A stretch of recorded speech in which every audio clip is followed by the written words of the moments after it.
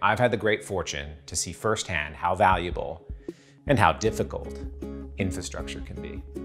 Infrastructure is increasingly a competitive advantage, and it is moving fast.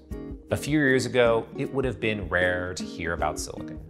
But these days, you don't have to look far to see how the ability to ship hardware and software together is creating some pretty amazing advantages. But unless you're a cloud on the side, how can you keep pace? We built a company around one simple thing, automating physical infrastructure for developers. Our passion has been to solve the really boring parts, where physical and digital meet, the plumbing, so to speak, of our modern world.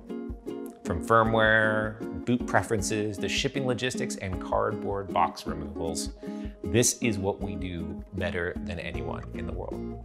Most people know Equinix as the world's largest provider of data centers and connectivity. But for those of us who have grown up inside the belly of the internet, Equinix is much more. And our message is simple. If you're in the business of software, well, we're in the business of helping you find an advantage with infrastructure. With our global platform, our mission is to help you reach all the right places, connect with all the right partners, and create all the right possibilities.